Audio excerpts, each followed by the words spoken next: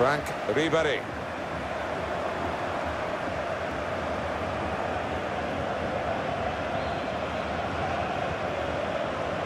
Now here's a chance to get at the opposition. Yeah. The shot's on! And the ball's in. It's a goal. Into the area where the post joins the crossbar, inside both post and crossbar, and it's in.